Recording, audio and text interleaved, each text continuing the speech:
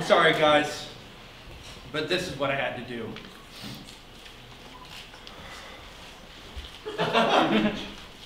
Oh, Walter! Hi, Linda. This is the last straw! I think we need to see a marriage counselor. Wait, what? Oh, you heard me. And this isn't an isolated incident. Leaving the dishes in the sink for me to do in the morning, flopping down on the couch as soon as you get home, and now murdering our children. oh, something's gotta change. Linda, do you know what murder is? I'll it's a goddamn commandment. It's the worst sin you can commit. Ever heard the phrase, thou shalt not kill? Ever heard the phrase, thou shalt not covet thy neighbor's wife? oh, don't think that I didn't see you staring at Denise in her trendy little beach skirt in the neighborhood barbecue last week. Oh, so you want to bring up the neighborhood barbecue? Yes! Well, let's talk about Dr. Courtlander then. I could barely get his ugh, balls out of your mouth when it was time for us to leave.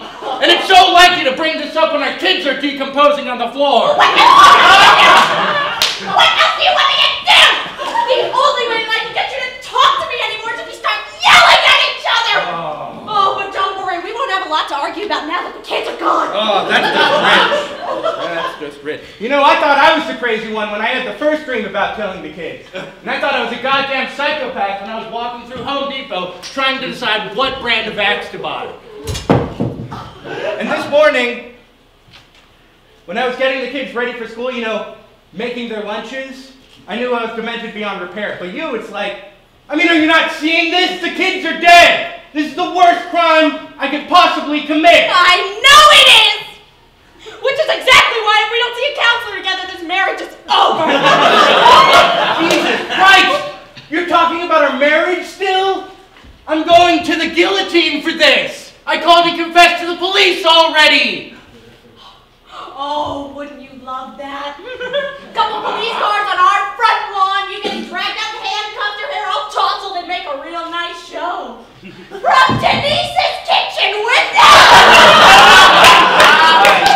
I'm sorry. She's arguing like you're not even here, arguing in front of the kids. It's disgraceful! You treat me like one of the tables that's not set properly. I swear, sometimes I can just bring an axe down on Oh, the go ahead and do it! I you don't have the guts! What do you mean I don't have the guts? I killed the kids, didn't I? And I loved them a hell of a lot more than I ever loved you!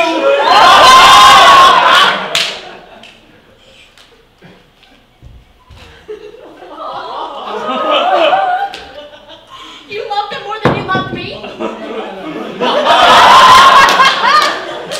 didn't mean that. You know I love you more than anything in the world. I just got angry. It was a stupid thing to say. I give you two children. And the happiest years of my life, and you say such a thing, Walter, how could you? Baby, baby, I'm over the moon for you.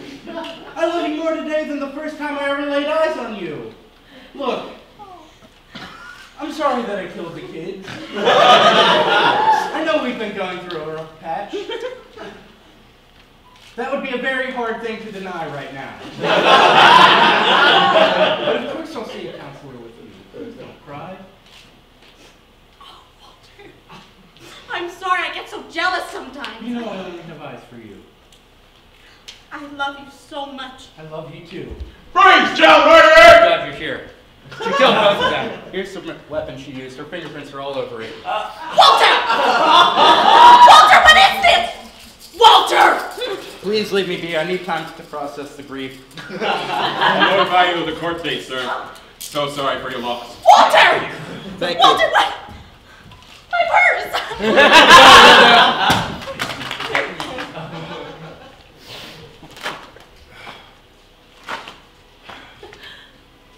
Okay, guys, she's gone.